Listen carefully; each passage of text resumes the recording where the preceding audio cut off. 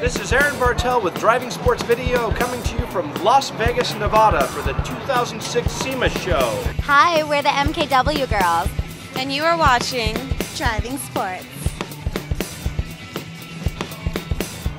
But before we get too far into that, we've got an exclusive look at Gran Turismo HD on the PlayStation 3. Check it out. Our first look at the PS3 starts off with what this next gen system is capable of, including the redesigned interface that's nearly identical to the PSP's, the ability to manipulate your digital photo collection, and playing Blu ray DVDs. Speaking of the high def video, a side by side demonstration on Sony's HD TV dramatically illustrated the picture quality difference between standard DVD and Blu ray technology. Take my word for it, the Blu ray kicks ass.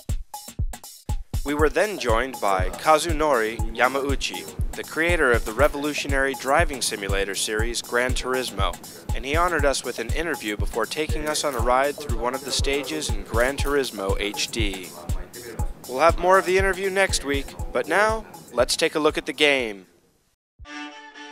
The production time for each car is increased from one month in the last generation of GT to six months for GT HD. But the attention to detail is amazing, with every inch of the car fully rendered, including the interior and the drivers.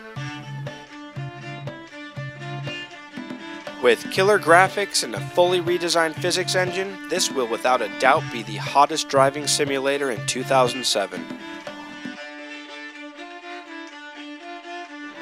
And that was your exclusive first look at Gran Turismo HD on the PS3. The PlayStation will be hitting shelves November 17th, with Gran Turismo HD coming out sometime in the next year. From Las Vegas and the SEMA show, this is Aaron for Driving Sports saying, always double down on 11.